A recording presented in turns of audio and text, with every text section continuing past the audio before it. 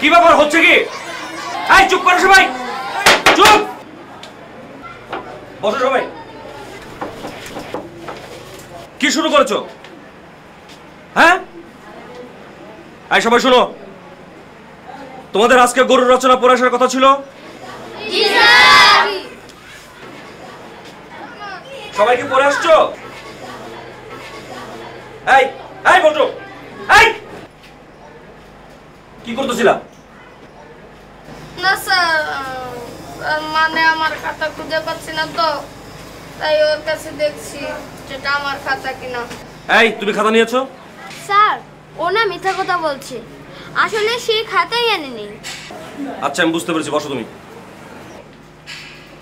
বল্টু তুমি আমার সাথে বাদরামি করো।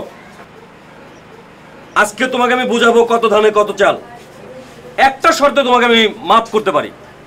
তুমি যদি সবার সামনে গরুর রচনাটা গড় করে বলে দিতে পারো, তাহলে তোমার সব শাস্তি মাপ বলো।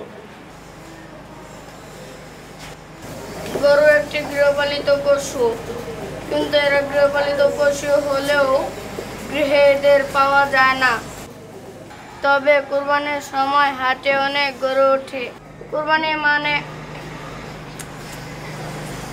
কুরবানি মানে নতুন নতুন জামা কাপড় কিনে আনা।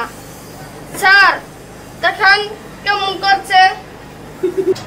এই চুপ!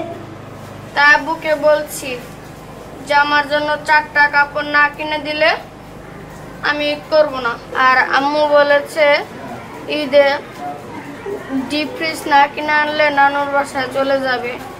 তাই আমার ইচ্ছে পূরণ হলো না। আর ঈদের সময় গরুর গোস্ত খাব আর স্যারকে দাওয়াত দেবো।